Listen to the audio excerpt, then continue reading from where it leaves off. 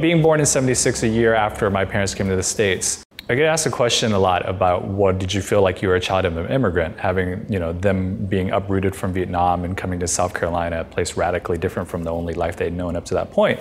And the, the honest question is no, I, didn't because South Carolina was like the only life I ever knew. I mean, I was born and raised there, so I never experienced anything else prior to that to say that it was different. So everything that I was experienced as as their child, as a, child of immigrants, like was just seemed completely natural to me uh, growing up there. Um, so while I was being raised there, I, I'm sure there were things that my parents did to go out of their way to try to remind me or to try to instill in me a sense of heritage and legacy and as simple things as you know spending sundays at a language school teaching me vietnamese which went horribly bad. I only went for about a month before my parents realized it wasn't worth the fight to get me there.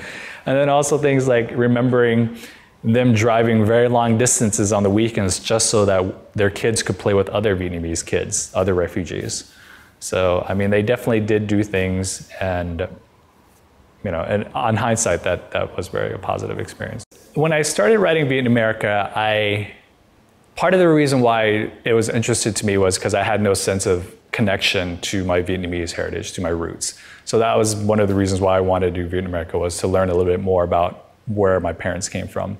Um, and then when I finished it, suddenly, once the project was done, I realized, and, and, after learning about all the things that I learned about, I did feel a greater connection to like my Vietnamese roots. And it's, I can definitely say now that the book is done, the project's done, that I'm more interested and curious and active, like in the American Vietnamese community, community than I was before I, I set out work on with the book. I mean, Vietnamerica started as me basically staying a little bit longer at the dinner table to listen to my parents a little bit more. Or Vietnamerica started with me asking questions to my aunt during family reunions about subjects that weren't openly discussed, you know, by the other family. So it was. It started with a curiosity, a desire to learn, and desire to experience, and basically this a, a child reaching a point where they really wanted to understand who they are and realizing that to do that they need to understand who their parents are. Vietnamerica exists as a graphic novel or you know just a comic book because I've grown up with comics. Like they've um, entertained me, they've educated me, they've enriched me my entire life. So to want to contribute to this medium, this very unique, unique medium, was very natural. Um, you know, I really do believe that they're the art of reading, and uh, they exist in this this state between film and prose, where those two forms collide to create a very unique um, unique medium as far as um, its story and telling potential, its narrative potential, and the images allow for um, more layers of meaning and depth to for the reader.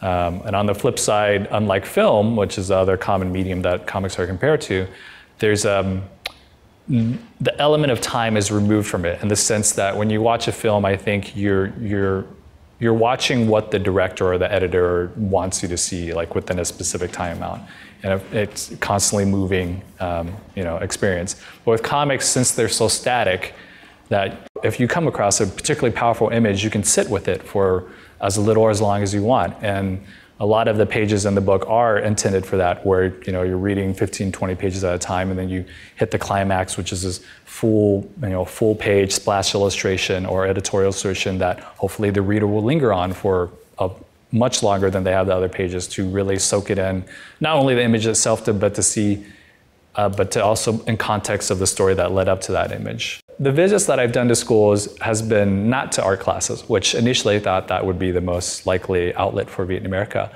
but they've been to English classes, to uh, cultures and civilization classes, and humanities classes, and creative writing classes. Um, and I think they've what teachers have been drawn to about Vietnamerica, at least the ones that I've talked to, is that it tackles themes that are very universal and that their students, regardless of where they came from or their background, can resonate or connect with these universal issues of Vietnamerica, these topics of uh, immigration, of war, of uh, family legacy. I can say that my perceptions about the Vietnamese experience for Vietnamese people were all basically everything I learned in that 15 minutes of history class in high school right? Which is like, okay, this is the good side, this is the bad side, this side fought for democracy, this side, this side was a communist, and whatever. Um, what I, so in the process of doing Vietnamerica, what I quickly learned was that um, having family that fought for both sides of the war, it meant that I was no longer a question of like what was right, what was wrong, who was good or who was bad. It was just more of like, well, why did these people do the things that they did? You know, why did my grandfather abandon his family, his children, to fight for the North? Uh, why did my uncle? Why was he forced into? Why was he forcibly drafted to fight for the South?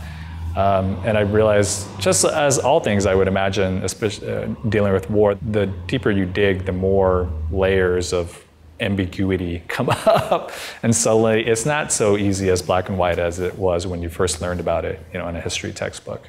And that was one of the biggest issues working on this was like a lot of concern about once the book was done with what kind of criticism it would receive as far as from people who have much more at stake in this topic than certainly I do, being born, you know, after the war and only coming to it now.